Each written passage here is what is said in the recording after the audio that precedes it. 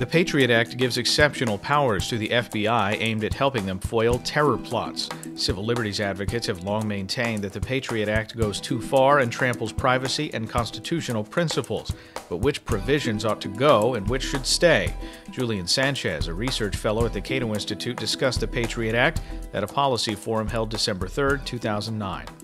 Now, it's not just that I think that the FBI has some kind of unhealthy interest in the movements or reading habits of ordinary Americans, although there is ample historical reason to be concerned about that.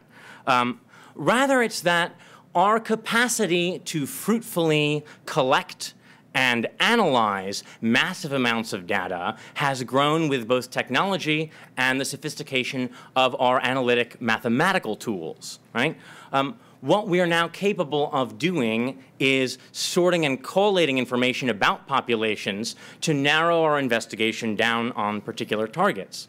We can do fairly sophisticated social graph analysis to look for patterns of communication that might identify anonymous individuals by their telltale sort of social fingerprint, or to reveal facts about organizational structure and potential group membership uh, something that I think has actually been far too little discussed is the First Amendment implications of this kind of social network analysis. The Supreme Court has held in, in case after case that there are First Amendment free association and expression implications to membership lists, like the list of people who are members of a particular NAACP uh, office, uh, you know, chapter. Um, and, and that, that, has really, I think, been overwhelmingly missing for analysis in part because we haven't been forthright about what the capabilities of these tools now are. Um, so what's, what's the, the, the, the, fruit of this kind of mass analysis? Uh, we have a terrorist watch list with at least 400,000 individuals on it and growing fast. 20,000 of those at least uh, are, are uh, Americans. We have an FBI database with at least 1.5 billion records from a plethora of private and uh, public sector sources. Um, and we also have a set of statutes governing more intrusive communication surveillance that have been shaped to uh, more easily take the fruits of that kind of broad-based investigation uh, and collection of data as a sort of input uh, to guide its targeting. So we mentioned roving wiretaps. Um, right? In the criminal context, roving wiretaps exist. They allow you to follow a target from uh, phone to phone or internet account to internet account. But the courts have consistently found that this kind of broad authority meets the particularity requirements of the Fourth Amendment, which requires that the um, places to be searched and the things to be seized be particularly described in a warrant. Because in the criminal context, there is a requirement that when a wiretap goes roving, um, the specific speaker or target is named, and it is just that person's communications which may be monitored. That, that limitation does not exist for FISA roving wiretaps, which may be issued uh, to include no, specific, no specification of the phone line location or um, internet account monitored, but also to contain only a description of a group being monitored, um, right? Which means, in a sense, uh, an ability to provide the characteristics uh, of, of, a group membership that will be used without uh, limitation by facility. Uh, even more broadly, thanks to the FISA Amendments Act passed last year, the FISA court can now approve not specific targets of surveillance, but programs of surveillance where the judicial role is only to authorize targeting procedures, which means, again, a shift from particular individual targets to authorization of algorithms for targeting, of abstract characteristics that are to be used to identify whose communications may be surveilled.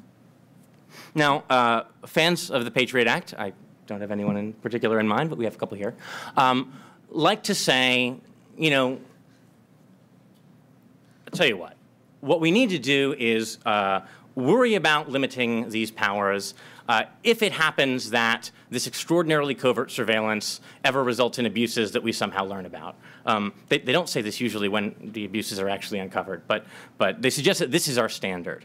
Um, and I, I, think this is a mistake in, in a couple of, of, really basic ways.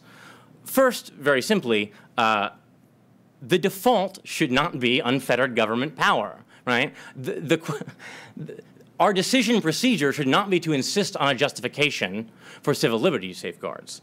Uh, what we need to insist on is an explanation of why those safeguards are unacceptable, right? It is utterly inadequate to simply say, we seem to be catching a bunch of terrorists. The Patriot Act must be working. Uh, and it must be the case that all of the hundreds of components of the Patriot Act, exactly in their current form, are totally essential to this task. In fact, if we actually look at the causes of intelligence failure in the past, um, they, they, tend not to be um, you know, inadequate power, even though that's a convenient scapegoat, but structural problems within intelligence agencies. If we look at the reasons for intelligence success, it is uh, again, far more often, good human intelligence based on specific targets that leads to the apprehension of terrorist targets.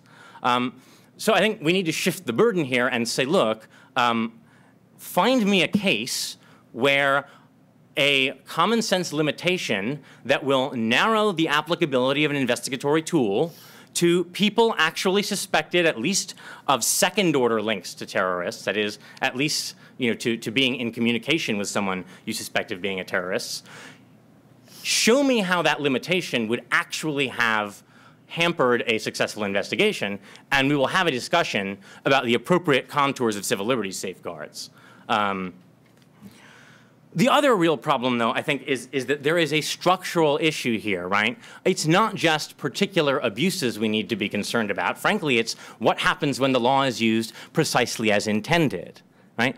A myopic focus on particular abuses neglects the structural component of privacy rights. We understand this in the First Amendment case, right? We understand that uh, the right to free speech is not just about my individual liberty to express my views. It's about the structural interest I have as a member of a democratic society subject to democratic laws of public free discussion of matters of public import, whether or not I'm interested in taking part in that discussion. And there's every reason to think that the founders understood privacy and the rights protected by the Fourth Amendment to have a similar structural role. If you look at the history of abuses of intelligence powers, it is in fact uh, overwhelmingly that political function that has been imperiled uh, by, by misuse of surveillance powers. Um, so with that more structural take in mind, um, I, I, think, I think we need to consider not just what are the harms that might accrue now, but what is the architecture of control? I mean, if you know anything about Joe the Plumber's child support records, you have a sense of how surveillance can be used as a tool of discipline. Um, and if we look to the architecture of surveillance we're constructing, I think we will recognize that the appropriate test here is not short-term expediency, but whether that level of filtering analysis of data about increasingly legible populations is consistent with a structure of government that is appropriate for a free people. Julian Sanchez is a research fellow at the Cato Institute. You can read more of his work and watch the full forum at cato.org.